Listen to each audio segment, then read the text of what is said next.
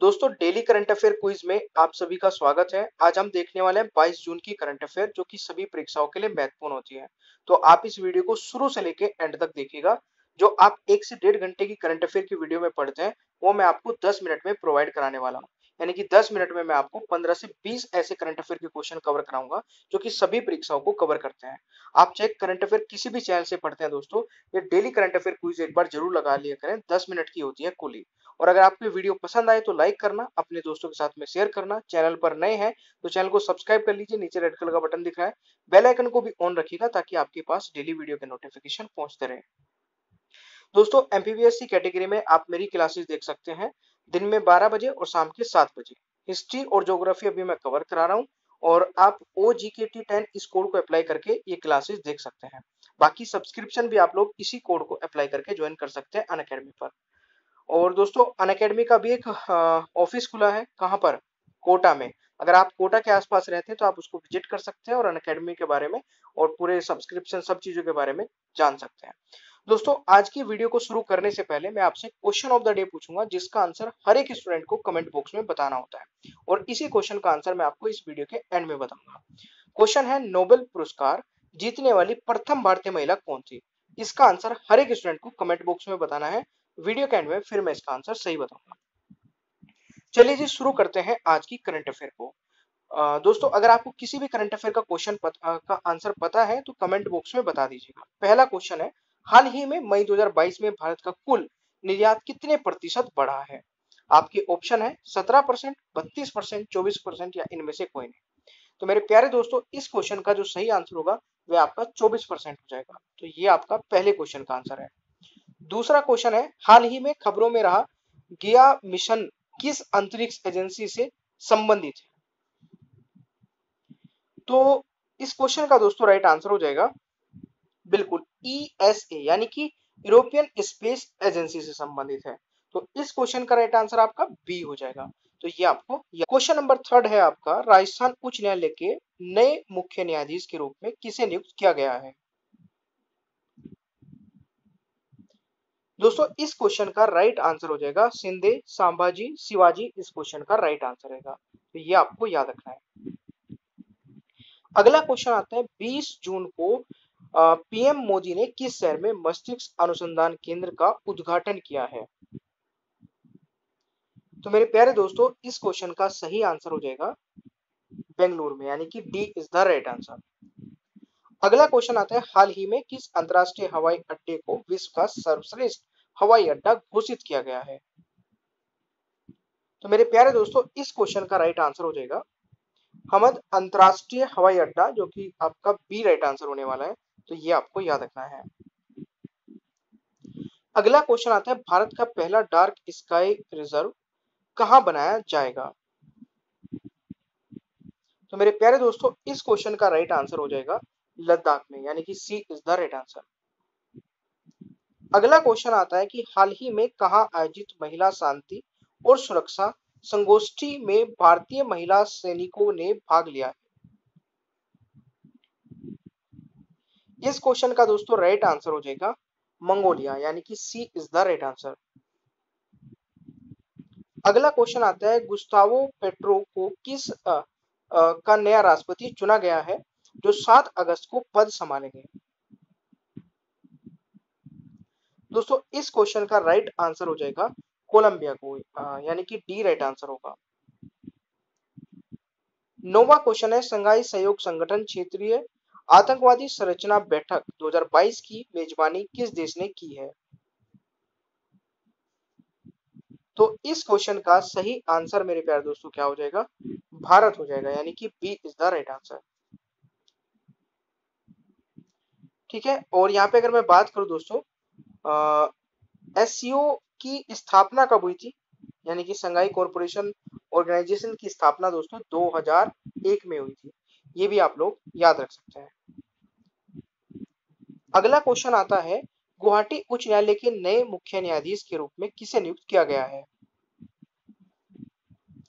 दोस्तों, इस क्वेश्चन का राइट आंसर हो जाएगा। बिल्कुल, रसीमन मैनर भाई छाया यानी कि राइट आंसर इज़ डी ये आपको याद रखना है भाई। चलिए, अगला क्वेश्चन आ जाता है आपका।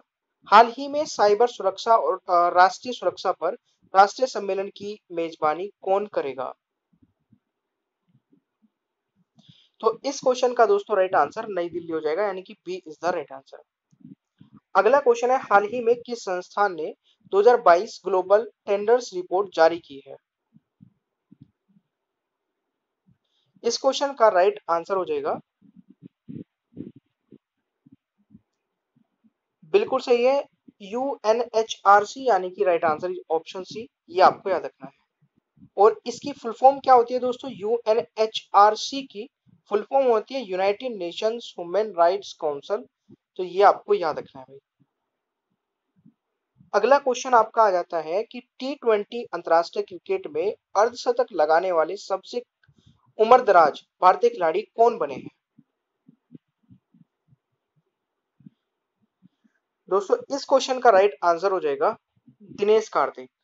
ठीक है, हाल ही में उन्होंने दक्षिण अफ्रीका के खिलाफ टी ट्वेंटी मैच में 27 गेंदों में 55 रन बनाए अगला क्वेश्चन है, हाल ही में किस देश ने एससीओ सदस्य देशों के लिए सोलिडेरिटी 2023 नाम से एक संयुक्त सीमा अभियान आयोजित करने का प्रस्ताव रखा है?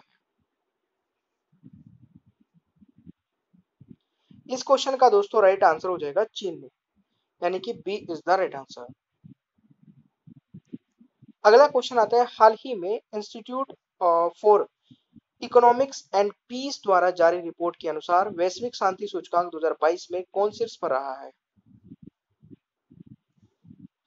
मेरे प्यारे दोस्तों, इस क्वेश्चन का राइट आंसर हो जाएगा। आइसलैंड यानी कि C is the right answer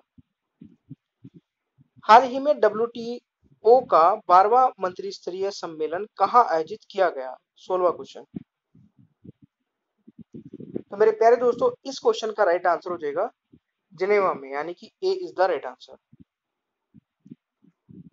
अगला क्वेश्चन है, हाल ही में अमेरिका, मेक्सिको कौन सा देश फीफा वर्ल्ड कप 2026 की मेजबानी करेगा?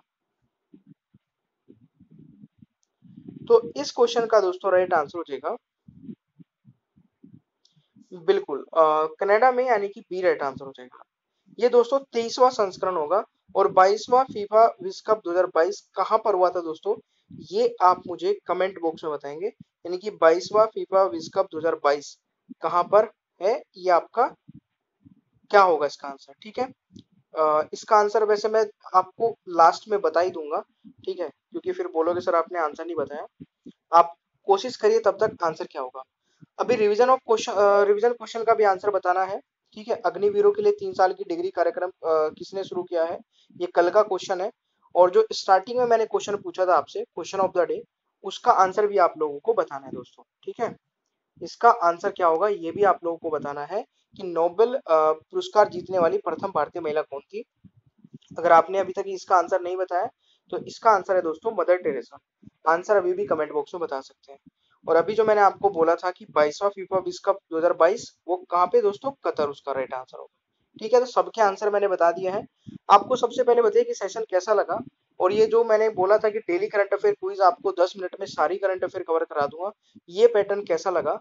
आप देखिए, कितनी भी करंट अफेयर पढ़ लीजिए दोस्तों, कम होती है। लास्ट में आपको क्वेश्चन का ही रिविजन करना होता है। अगर आपको मैं वो सारे क्वेश्चन करा रहा हूँ, जो एग्ज़ाम के पॉइंट ऑफ़ व्यू से बनते हैं तो इससे बाहर कुछ नहीं जाएगा। आप टाइम वेस्ट बिल्कुल भी मत करिए। करंट अफेयर पूरा दिन करंट अफेयर करंट अफेयर पढ़ने के लिए नहीं होती है। करंट अफेयर अगर आप 10 से 15 मिनट पढ़ लिए, बहुत है। बट रेगुलर पढ़िए, ठीक है?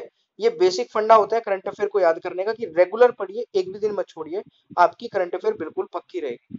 अगर आप रोज, हर रोज एक दो घंटा करंट अफेयर पे वेस्ट कर रहे हैं और फिर जाके जीके और रीजनिंग और मैथ और ये सब नहीं पढ़ते हैं, फिर सिलेक्शन नहीं हो पाएगा। ठीक है? ये बहुत मतलब सच है ये बात। कि बहुत सारे स्टूडेंट करंट अफेयर को बहुत ज़्यादा टाइम दे रहे हैं, या फिर कोई जीके को बहुत ज़्यादा टाइम दे रहे हैं। इक्वल टाइम दीजिए सबको, जो चीज़ जितने पोर्शन रखती है, उसके लिए उतना ही टाइम दीजिए। ठीक है? यही फंडा होता है दोस्तों क्लियर करने का। चलिए तो अगर आपको सेशन पसंद आया लाइक कर देना, अपने दोस्तों के साथ शेयर करना। चैनल को सब्सक्राइब करके बेल आइकन ऑन रखिएगा, ताकि आपके पास वीडियो की नोटिफिकेशन पहुँचते रहे। बाकी सभी वीडियो के लिंक मैंने डिस्क्रिप्शन बॉक्स में दे दिए वहाँ से जाके आप सारी वीडियो देख सकते हैं। Thank you so much bye bye everyone